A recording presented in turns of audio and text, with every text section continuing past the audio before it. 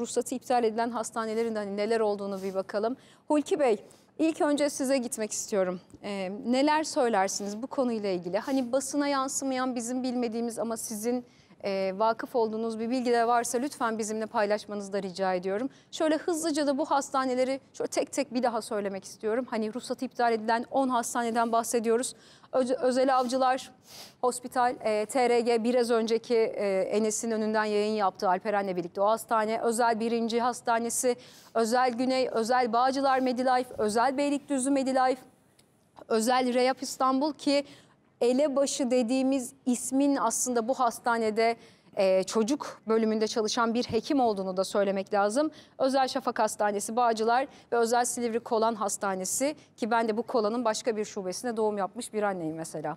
E, çok ilginç. Şimdi biraz önce Enes'in söylediği cümle de hakikaten e, tüyler ürperten düzeyde. İşte orada hakkın rahmetine kavuştu diyor belki de bir sürü aile değil mi? Evladım öyle. Hani böyleymiş yazısı diyorsun ama böyle bir olay duyuyorsun ve diyorsun ki acaba Tabii. o anne artık nasıl uyusun ya? Tabii, tabii. O anne nasıl uyusun? Belki 3 sene önce, 5 sene önce kaybetti evladını ve belki o günden sonra bir daha anne olamadı bile. Ama hep dedi ki böyle, böylesi nasipmiş, Allah böyle yazmış dedi. Buna sığındı. Sonra öğrendi ki o hastanede doğum yaptığı için aslında böyle bir şey var altında. Birileri çocukları bilerek öldürmüş. O annenin içine kim nasıl su serpebilir mesela? Hulki Bey buyurunuz. Elinizde hani biraz önce de söyledim sorumu yineleyeyim isterseniz. Hani bizim bilmediğimiz ama sizin ulaştığınız bilgiler varsa paylaşırsanız çok sevinirim. Ya şimdi bir kere ailelere, e, bebekleri ölen ailelere e, sabır dileyelim. E, çocuklar için hepimiz üzgünüz. Olay vahim bir olay. Yalnız e, Enes Geyik konuşurken aklıma bir şey geldi. Şimdi bu ruhsatı iptal edilen has- hastaneler sadece doğum hastanesi mi yoksa bunların bir bölümü mü kadın Komple doğum kapatıldı. bölümü? Hayır. Ha, bir komple bölümü. kapatıldı da. Bir yani bölümü. bunlar mesela kadın doğum hastanesi mi tamamı yoksa e, bir bölümünde Yok, bu bütün- olaylar bütün oldu. Ha, Servislerde hizmet veriyorlar. Özel hastane ama çete bu yeni doğan bebek üzerine Ya bunlar şekillenmiş. sadece doğum Normal hastanesi hastane değil. Bunlar. Değil. Şimdi, tabii ilginç. Bunun e, ayrıntılı boyutları önümüzdeki günlerde daha net çıkacaktır. E, ben programa gelmeden evvel Sağlık Bakanı e, Profesör Sayın Memişoğlu hocayla görüştüm. Bazı bilgiler edindim. İşte bu e, olayları bir kez daha kendisinden dinleme imkanımız oldu. Daha önce bir televizyonda konuşma yapmıştı Sayın Bakan. Evet neler söyledi Ee, onu da Hulki Bey? e, onu da izledik. E, galiba sizde de vardır. Zaten o medyada evet evet yer aldı. paylaşacağız. E, şimdi bu olaya bir hastane açısından, iki hekim ve sağlık çalışanları açısından, üç adalet açısından, dört Sağlık Bakanlığı ve sağlık sistemi açısından, e, beş İçişleri Bakanlığı açısından bakmak gere- gerekiyor. Bir de altı ve daha büyüğü toplumsal açıdan bakmak gerekiyor. Sen birkaç kere e, duygulanarak da ifade ettin. Yani Şimdi hastayım dedi bu biraz olayla sesim öyle. Hani özellikle bu- bunun ya, a- ajite etmek benim haddime değil çünkü hani oradaki ailelerin acısı varken üzerinden de günler geçmiyor ama zaten konuşmakta zorlanıyorum. Hani onun da altını çizeyim. Buyurunuz ama tabii ki duygulanmamak elde mi? Ben belki de anne hassasiyeti gösteriyorum ama buyurun Sulki Bey. Tabii. Çok çok doğru. Şimdi altıncı boyutta toplumsal açıdan önemli dedim. Şimdi bu olayla ilgisi olmasa da daha önceki yıllarda da çocuğunu, bebeklerini hastanelerde kaybeden insanların içinde bulunduğu durum da çok vahim. Ee, sen vurguladın. Acaba bizim bebeklerimiz de e, Enes'in de ifade ettiği gibi eksik ya da yanlış tedavi sonucu bu çetelerin kurbanı mı oldu diye soruyorlar dedi. Şimdi bu bu kuşku korkunç bir kuşku. Çok. Yani toplumsal boyutu toplumda yarattığı infial açısından da bunun ele alınması gerekiyor. Olay küçük de olsa, büyük de olsa topluma mal olmuş bir olay. Önemli ve büyük bir olay. Ama toplumda yarattığı hani e, suyun, e, taşın sudaki e, yarattığı halkalar gibi toplumun bütün kesimini ilgilendiren bir olay haline geldi. E, diğer anne babalar da çocuklarını, bebeklerini kaybedenlerde de büyük bir kuşku yaratmış olması e, vahim bir durum. Şimdi e, karışık olarak yani bu altı boyutu karışık olarak söyleyeyim. Şimdi olay nasıl olmuş? E, kamuoyundaki haberleri de izledim, okudum. Sağlık Bakanlığı'nın mı kusuru var? Ee, işte soruşturma mı eksik olmuş?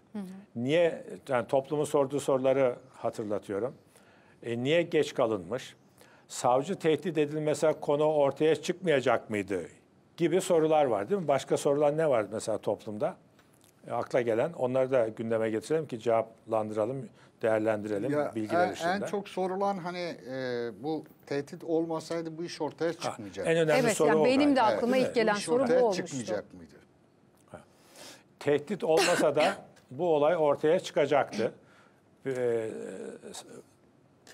Sağlık Bakanı ile yaptığım görüşmede dedi ki, şimdi e, bakanlık CİMER'den gelen şikayet yazısını İstanbul İl Sağlık Müdürlüğü'ne gönderiyor.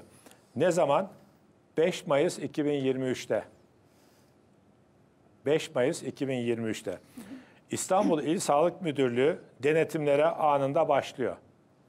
Kanıt bulamıyor. Şimdi kanıt o tarihte kanıt bulamıyor sözünü e, hiç kimse yanlış anlamasın. Ne anlama geldiğini söyleyeceğim. Efendim bakın bu kadar kanıt var şu anda. Niye kanıt bulunamamış denirse onun yanıtı şu. Şimdi İstanbul İl Sağlık Müdürlüğü'nün ekipleri bu ihbar edilen hastaneler ve benzerlerinde denetime başlıyor. Geçen senenin ortasında 5 Mayıs 2023'te. İncelemeler sonucunda bazı e, bebek ölümlerinde e, kanıt bulunamıyor ama bakan diyor ki bir tuhaflık fark edildi. Bunu kanıta ihtiyacımız var. Ve o sırada Sağlık Bakanı bir başka televizyonda yaptığı konuşmada ne dedi? Soruşturmaya başladık ve sadece dört kişi biliyordu. Çok hassas bir soruşturmaydı. Kimin çete üyesi olup olmadığını bilmiyoruz. Ee, ilgililerin hepsi bilirse çete de duyabilir bunu, tedbir alabilir. Aralarındaki konuşmalar, bağlantılar aniden kesilebilir. İleride elde edilebilecek kanıtlar da böylece yok olur. Bunu önlemek için sadece dört kişi bu işi soruşturmayı biliyor. Bu e, dört kişinin kim olduğunu, hangi görevde olduğunu ben biliyorum ama söylemeyeceğim burada. Soruşturma bitsin diye. Bu dört kişi olayı takip ediyor. Şimdi 28 Eylül'e geldiğimiz zaman, geçen sene 2023 28 Eylül'e geldiğimiz zaman olağanüstü denetim komisyonu kuruluyor. Şimdi burada bir tuhaflık var. Kanıt arıyoruz, bulamadık. Ama bir şey var burada. O yüzden olağanüstü denetim komisyonu kuruluyor. Başsavcılıkta İstanbul e, Başsavcılığı da 24 Kasım 2023'te Sağlık Bakanlığı Teftiş Kurulu'na yazı gönderiyor. Bunun üzerine Sağlık Bakanlığı müfettiş görevlendiriyor. Şimdi soruşturma gizli yürütülüyor. Kimse öğrenmesin, tedbir alınmasını isteniyor ve çok sınırlı kişi biliyordu ya. Sağlık Bakanlığı'nda bu dört kişi. Yani emniyete intikal ettiği için e, İl Sağlık Müdürlüğü, İstanbul İl Sağlık Müdürlüğü, şimdiki bakanımız o sırada İl Sağlık Müdürü İstanbul'da. O başlatıyor bu soruşturmayı. Evet. Emniyete bilgi veriyor. Emniyette kaç kişi biliyordu onu bilmiyoruz. Bu sadece dört kişi biliyor sözü Sağlık Bakanlığı'nda bu işi bilen dört kişi. Yani bu dönemin Polise intikal Sağlık ettiği için Bakanı orada kaç kişi biliyor onu Dönem- bilmiyoruz. Affedersiniz Ruki Bey, dönemin Sağlık Bakanı'nın bilip bilmediğini de bilmiyoruz bu durumda değil mi? O dört kişinin kim olduğunu bilmediğimize göre, daha doğrusu siz biliyorsunuz ama bize söyleyemiyorsunuz bu durumda değil mi? Ama işte ama dönemin Sağlık Bakanlığı Yok, bilmezse diğer bakanlıklarla diyalog kurulamaz ki. İşte bilmiyorum, soruyorum, merak ediyorum bir vatandaş olarak, Saklamışlar, bir çok güzel olarak. saklamışlar. Hulki Bey'in anlatımına göre başarılı bir operasyon. Çok özür dilerim. Benim sesimi alabilir misiniz arkadaşlar? Evet, saniye. çok başarılı bir operasyon. Ben devam edeyim. Sorulara da cevap vereyim yani bildiğim kadarıyla. Şimdi 5 Aralık 2023'te neredeyse bir yıl önce Sağlık Bakanlığı'nda müfettiş görevlendiriliyor. 9 Şubat'ta 2024'te yani Aralık, Ocak, Şubat iki, iki, iki, iki buçuk ay sonra kuvvetli şüphe vardır diye kuvvetli şüphe vardır diye Rapor yazıyor bakanlık, Sağlık Bakanlığı müfettişleri. Kuvvetli bir şüphe var. O sırada emniyet araştırmaya bunu devam ediyor. Bunlar çok önemli. Niye önemli? Efendim savcımıza tehdit olduğu için ortaya çıktı. Eğer tehdit olmasaydı bu üstü örtülecek miydi gibi sorular, kuşkular var. Onlara cevap. Ben de bunu çok irdeledim Sağlık Bakanımızla konuşurken. Şunu da söyleyeyim. Hani iktidar milletvekili olarak Sağlık Bakanlığı sözcüsü olarak konuşmuyorum burada. Bir akademisyen, milletvekili, halka hizmet ve halkın refahını artırmak için yemin etmiş bir milletvekili olarak da konuşuyorum. Yani tarafsız konuşuyorum, objektif konuşuyorum. Onu da vurgulayayım. Şimdi 9 Şubat 2024'te kuvvetli şüphe var diye rapor yazıyor bakanlık müfettişleri. Nisan'a geliyoruz.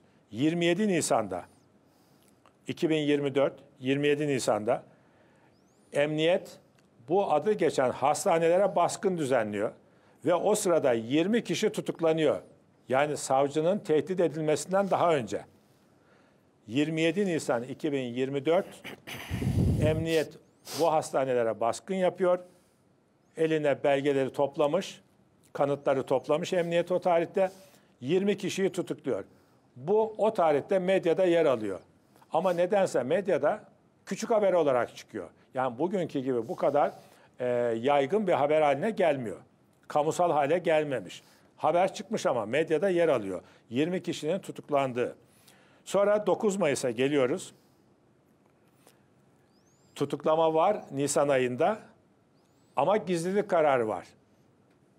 9 Mayıs'a geldiğimiz zaman başsavcılık gizli, gizlilik kararını kaldırıyor ve müfettişlere raporun ayrıntısını gönderiyor. 3 Eylül'e geldiğimiz zaman bakanlığa emniyet devam ettirdiği için soruşturmayı tutuklamalar var. Kanıtlar devam ediyor elde edilmeye. 3 Eylül'de ancak Sağlık Bakanlığı'na emniyet iddia e, şey savcılık iddianamenin delil iddianamede olacak kanıtları veriyor. Kanıtları söylüyor 3 Eylül'de. 11 Eylül'de ise bu kanıtların yer aldığı CD'leri teslim ediyor. Önce söylüyor, sonra artık konuşmaları, görselleri hepsini 11 Eylül 2024'te Sağlık Bakanlığı'na veriyorlar. Şimdi Bakan Bey'e sordum. Ya siz müfettiş madem gönderdiniz. Fark etmediniz mi vaziyeti? Ya şimdi bazı çocuklar prematüre doğmuş. E, doktor doktorların böyle bir şey yapacağı da hemşirelerin, sağlık personelinin ki akla Hulki asla Bey ya. gelmeyen bir varsayım. Ama Asla ona rağmen gelmez. inceleme yapılıyor. Yani bir doktor nasıl bunu yapabilir? Doktorun görevi yaşatmak, yaşamasını sağlamak, e, hastayı tedavi etmek, hayatta tutunmasını artırmak süresini mümkünse tümüyle tedavi edebilmek. Şimdi e, bu ölümleri incelediği zaman bakanlık, Sağlık Bakanlığı ya acaba eksik tedavi mi vardı? Yani bir çete olayının farkında olunamıyor daha. Bebekler ölmüş, tıbben onlar tespit ediliyor. İşte bazı konuşmalarda da buna benzer ifadeler var. 16 Eylül ve 25 Eylül 2024'te yani bu sene, geçen ay bakanlık bilir kişilerden mütalaa alıyor, inceletiyor bunu.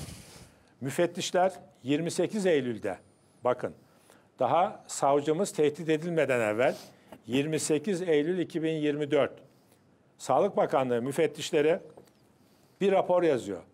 Raporda ne yazıyor biliyor musunuz? Bu hastaneler kapatılsın. Bakan Bey şunu söyledi. İstanbul İl Sağlık Müdürlüğü ilk incelemelere başlıyor ama il sağlık müdürlüklerinin ister İstanbul olsun ister bütün vilayetlerimizde hiçbirinin hastane kapatma yetkisi yok. Bakanlık buna karar verecek. Bakanlık 28 Eylül 2024'te hastaneler kapansın, bunlar kapansın diye rapor yazıp veriyor yazılı olarak. Şimdi 11 Ekim'e geliyoruz. Yani bu rapordan daha sonra bu rapor acaba dışarı mı sızıyor falan çete biliyor mu bilmiyoruz. 11 Ekim'de Büyükçekmece savcısı tehdit ediliyor makamında. 11 Ekim'de tehdit ediliyor. Doğru. Ve e, tehdit ne? Tehdit şu şekilde. Ya beş buçuk ay öncesinden tutuklanmış olanları bırakılması yönünde tehdit ediliyor. Savcı ve savcı ve ailesi. E, tutuklama hakikaten beş buçuk ay önce zaten yapılmış. Yani Aslında bu konuyla 1 Ekim hükümet, günü kaydediliyor. Hükümet ve Sağlık Hulki Bey. Bu görüntüler bu Nasıl? görüntüler savcının odasında tehdit edildiğine dair bizim izlediğimiz o görüntüler 1 Ekim günü kaydediliyor. 11 Ekim'de de işte o şüpheliler gözaltına alınıyor. Buyurun. Peki. Şimdi burada e, efendim savcı bey tehdit edilmeseydi ortaya çıkmayacak mıydı diye toplumda sorulan soruların cevabı bu. Yani ne zaman 20 kişi tutuklanıyor? 27 Nisan'da tutuklanıyor. Yani 1 Ekim'e ne kadar var? Mayıs, Haziran, Temmuz, Ağustos, Eylül. 5 ay var. Yaklaşık 5,5 ay diyoruz. Savcı Bey'in tehdit edilmesinden 5,5 ay önce zaten tutuklama yapılmış. Yani kimseye ihmalde bulunmuyor. İhmal yok ortada. İçişleri Bakanlığı, Adalet Bakanlığı ve Sağlık Bakanlığı çalışıyor bu sırada. Yani şöyle olsaydı bu halkın sorduğu ya da belli kesimlerin üzerinde bunu e, farklı e, boyuta getirmek isteyen kesimlerin efendim savcı tehdit edildikten sonra tutuklama oldu. Gördünüz mü siz bir iş yapmıyordunuz e, kuşkusu kuvvetlenir. Ama tam tersi bu olaydan beş buçuk ay önce tutuklama yapılıyor.